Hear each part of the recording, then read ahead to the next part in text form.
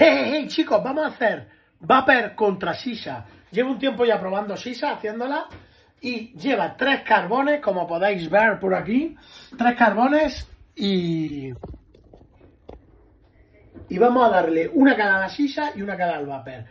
Tres carbones y el Vapor es de una resistencia, ¿vale? Solo tiene una. Vamos a darle unas cuantas caladas al Vapor, a la Sisa.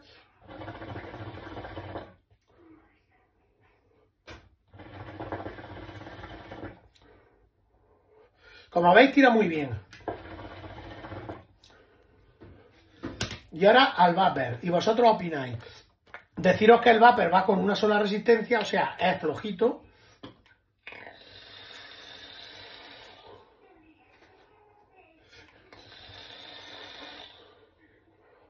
Comentar. ¿Quién ha ganado?